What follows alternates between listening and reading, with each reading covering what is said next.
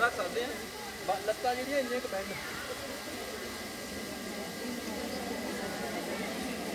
ਇਦਾਂ ਵੀ ਆ ਵੀ ਗਲਤ ਆ।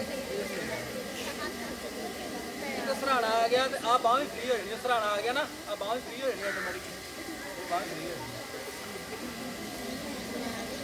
ਜਦੋਂ ਉੱਠਣਾ, ਜਦੋਂ ਆਪਾਂ ਜਦੋਂ ਆਪਾਂ ਸਵੇਰੇ ਉੱਠਦੇ ਆ, ਤੇ ਆਪਣੀ ਨਾਭੀ ਦੇ ਉੱਠਣ ਦਾ ਕੀ ਤਰੀਕਾ ਨਾਲ ਚੱਲਦਾ? ਉੱਠਣ ਦਾ